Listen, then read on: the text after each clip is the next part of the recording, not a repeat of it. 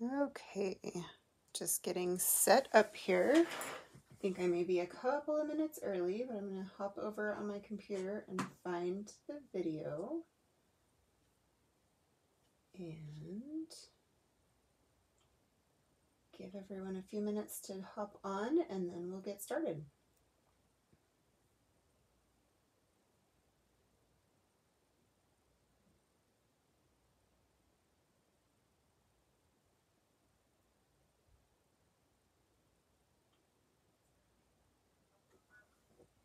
All right, sorry about that. Okay, I think that's it. So, looks like a couple of people have found me already, so thank you for joining me. And if you're catching me on the replay, I really appreciate that as well. Um, my name is Christy Hillock. I am with CJ Card Creations in Salt Lake, uh, Utah. And I'm an independent Stampin' Up! demonstrator and I really, really enjoy getting to come to show you guys fun new projects every Thursday. So I have been doing this every Thursday for three months now, which I have to say I'm pretty proud of myself. I think I only had to do a pre-recorded video one or two times in there. So it's been fun, and I hope that you all are enjoying it as well.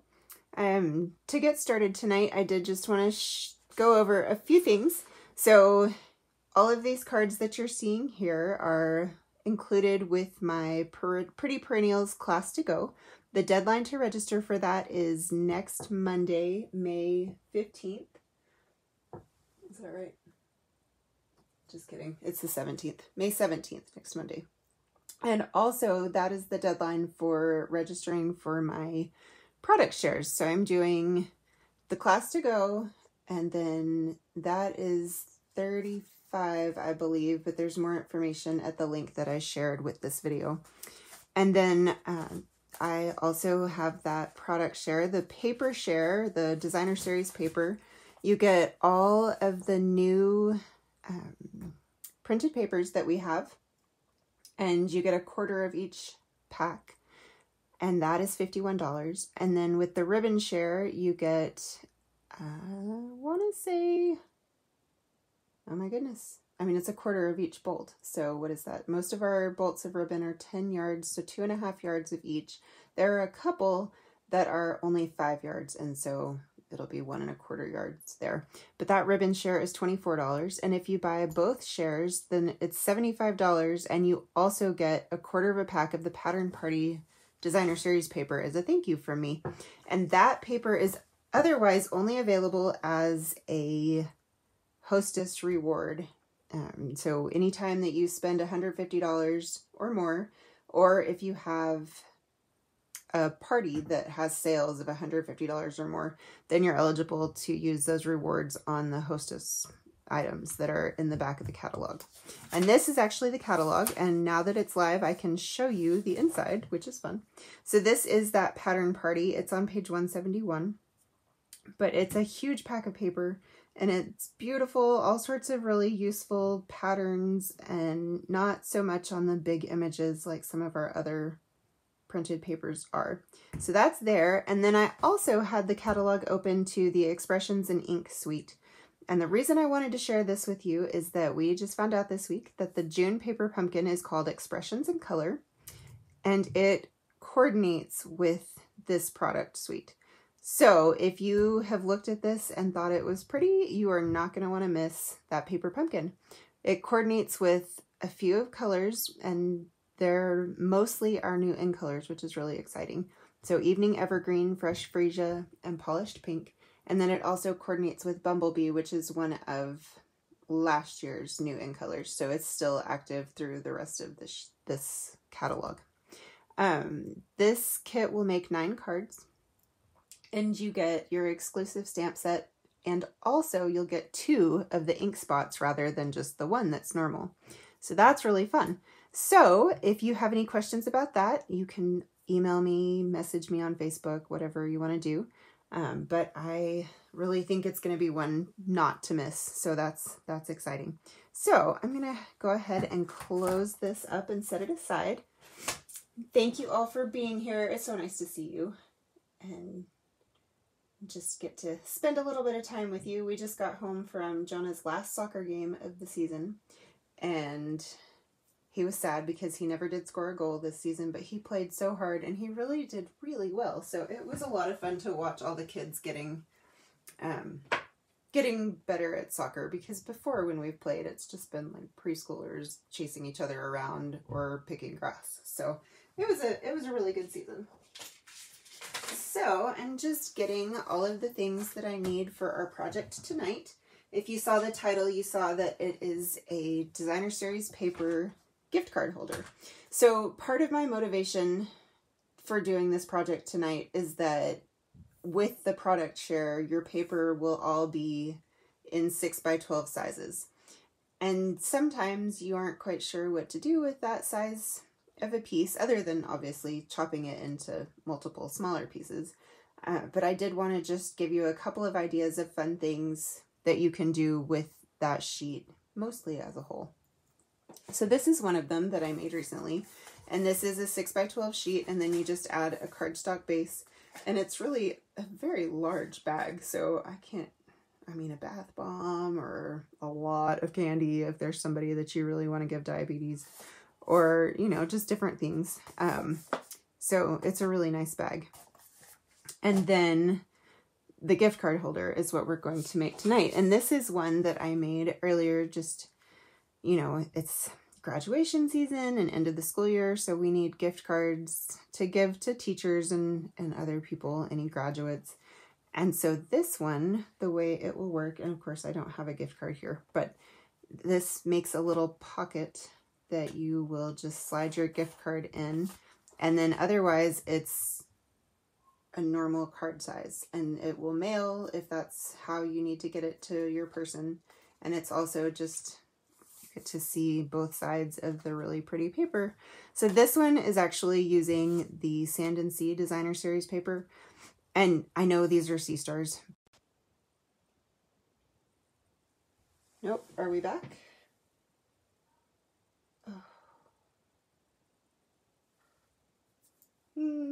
Sorry guys. That was totally my bad. Not anything. Okay, are we here? Looks like maybe we're back. Okay, so anyway, sorry about that. I am doing better with the technology, but there's always something, isn't there? So, okay, well, now that I have had, oh, thank you. I'm, I'm glad you can see me too. Um, now that I've had a couple of minutes to show you everything that was the inspiration here, we're going to go ahead and take the Snail Mail Designer Series paper, and that's what I want to use for this next gift card holder. So I'm just going to pull out the arm here, and I didn't include the score lines on like the measurements for the score lines on my comments, but hopefully um, I can go back in and, and add them. So the first score line, and you know what's really just brilliant on my part, is that I wrote them down somewhere and now I have absolutely no clue where that paper went. So I'm, my craft room is sort of a disaster. Joe won't even come in here right now, which is kind of not a bad thing, but it is also sort of embarrassing. So, okay, we are going to score at four and a quarter. So right there, and then just make sure with the trimmer that you're using the score blade and not the cutting blade. And also with printed paper, it's a lot thinner than our regular cardstock. So as you score, you don't want to push too hard with this guy. Okay, so we've done that score and then um, I'm just going to sort of figure it out, so bear with me here. I'm going to flip it around and do four and a quarter again. And then I know that this will...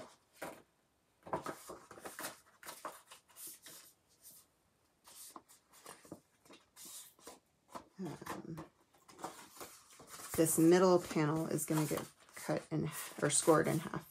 So let me just You're very sweet, Aunt Pat. I feel like I struggle on a regular basis. and now the fact that I didn't even bother to make sure I had the measurements, but you know, that's what happens. So, okay.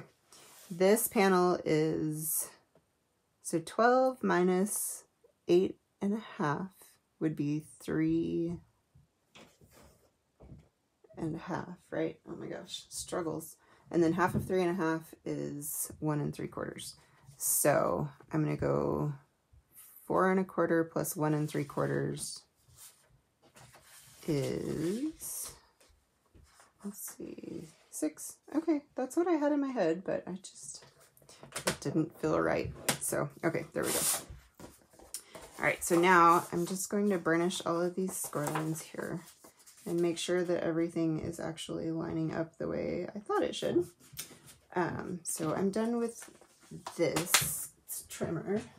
So I'll set that aside and then I'm just going to take my bone folder here.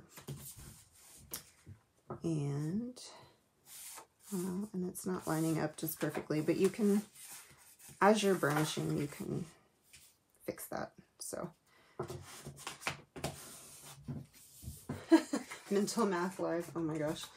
The only reason I'm capable of doing anything is because Jonah's doing this like road rally is what they call it. But it's just self-paced math testing. And so they started out with addition and then moved to um, subtraction. And he's gone through all of the times tables now. And so he's working on mixed multiplication and, and that is no joke. It's really intense. It's funny. He um he's definitely having to think a lot harder, and it's it's not um, memorization at all.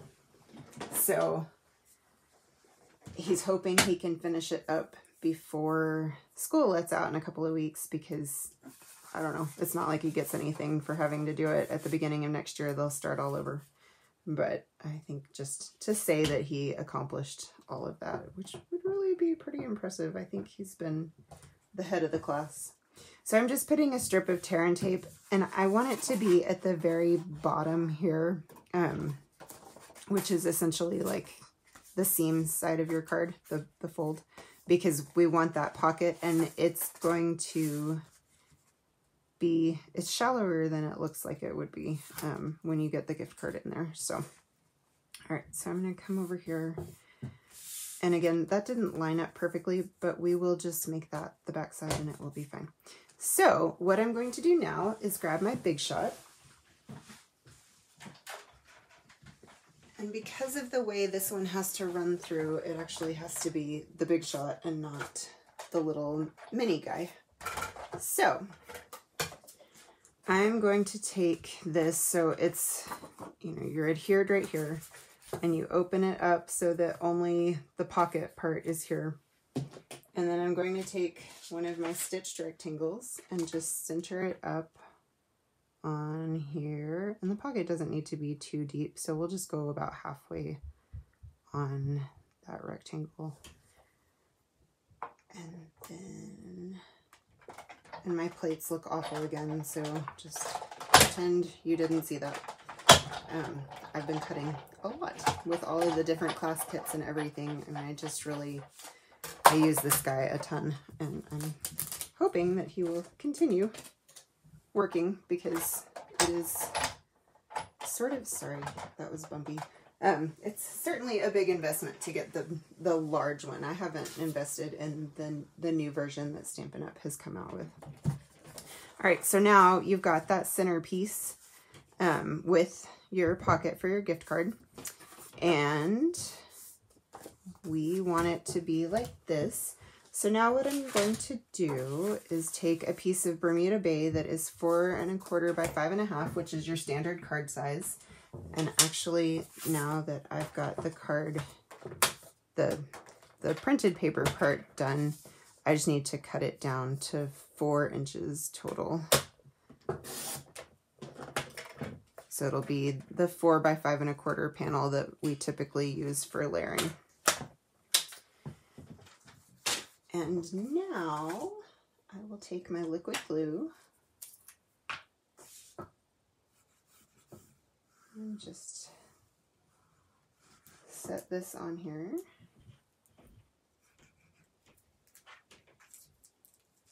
So, you know, I mentioned what a disaster my craft room is right now. And part of that is with the new catalog. I haven't been able to get through and pull all of the retiring product and organize the new product and everything. Um, but Joe's taking the kids camping this weekend. So I'm actually going to get a weekend to myself, maybe unless they can't get a campsite on Saturday, in which case they'll be back, but at least I'll have gotten Saturday.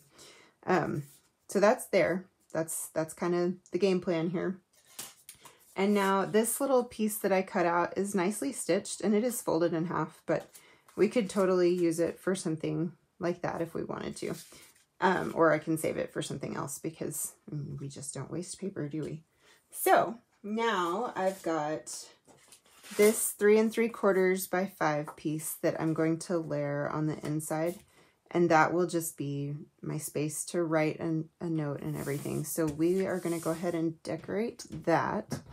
And I have, let's see, my Blushing Bride, which is one of the colors that coordinates with this designer series paper stack. So I am going to ink up these hearts and they are from the Valentine Keepsakes stamp set, which honestly, I, um, I am so not into Valentine's, but I really liked this heart and then the little flower looking hearts. So that's what we're using. And I'm going to go ahead and stamp it off and then we'll just make a little little garden over here. And the reason that I chose hearts is because if you look, there's hearts on all the different mail. Um, happy mail, you know, make, make everybody feel loved. So then I also have this stitched scalloped die that's from the Scalloped Contours die set that I am absolutely loving.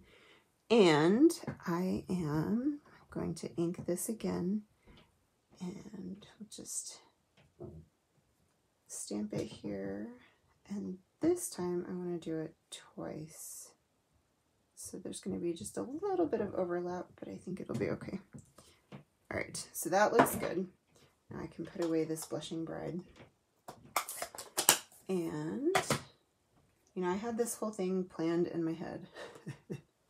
and then I went and did other things. And so, you know, because I, I didn't actually make this exact one.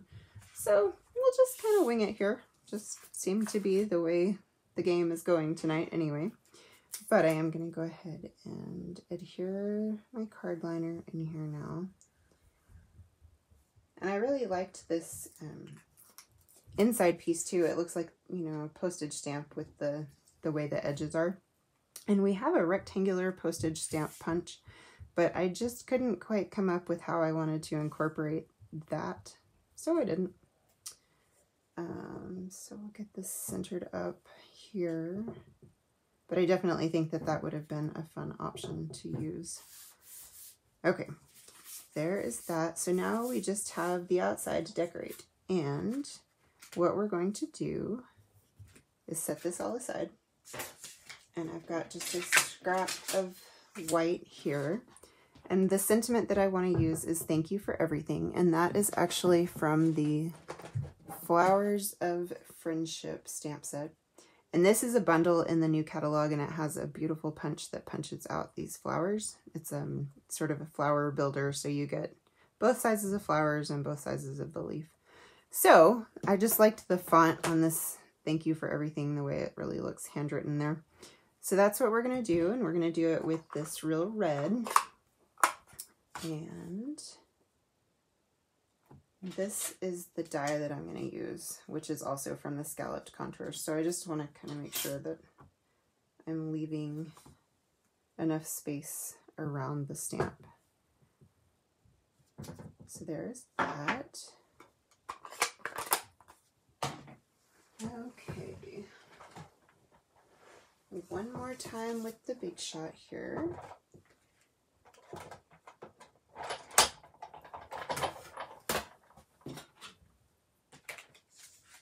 And typically when you have um, rectangles or squares or that kind of thing, you don't want to run it straight through. That's what makes that cracking sound that you heard when I was doing the other one. Um, with that one, I really just didn't have an alternative because that card base had to go through that orientation. Um, but with this, I can angle it just a little bit and it'll make the machine just a little bit happier. So, roll this through. Sorry, it makes everything shake.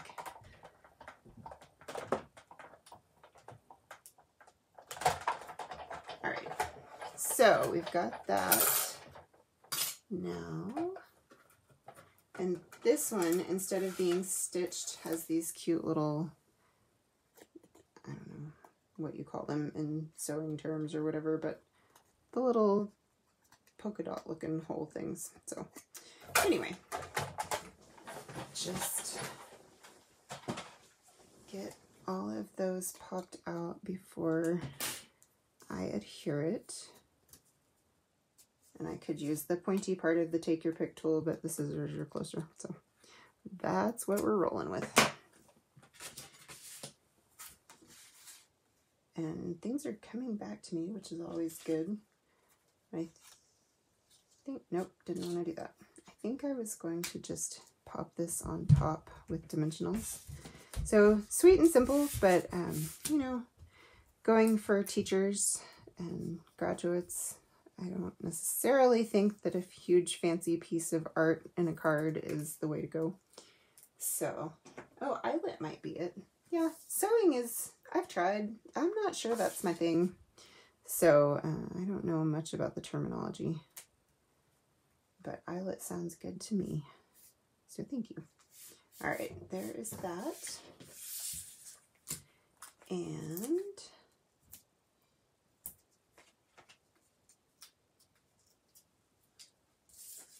pop this on here. Hmm, I don't know, I kind of like centered. One would hope that it would be straight, but I can't guarantee that actually. Okay, so that is that. And then you open it up and your gift card will be right there and just a sweet little note. So what do you think? I I also made one of these for Jonah's um, soccer coach today, but I already saw him and gave it to him, so I can't show you that one. I used the well-suited designer series paper from the mini catalog, and it's it's all plaids and stripes and um, Pacific Point blue and navy and black and gray. And it's really pretty. And the team was the Lions but their color was kind of a royal blue. So it went really well with the Pacific Point. So I thought that was fun. So that is what I had for you tonight. I hope you enjoyed it and I am so grateful that you guys showed up and supported me and, and watched with me while I did math on screen so that was fascinating. Um, I would love it if I could get a catalog into your hands if you don't already have one or have a demonstrator that you work with. And if you liked any of these products or need any of these products, I would really appreciate your business. If you like and share my videos, I'll draw a name from those who share and I'll send you a pack of four cards as a thank you too, because that also helps get more views on my videos and hopefully, um, you know, we are able to keep doing this and so yeah, well, thank you all. I'm glad that you liked it and I really appreciate everything. And I will talk to you next week. If you come up with ideas that you would like to see or a type of project or anything, please let me know. Okay, take care. Talk to you soon. Bye.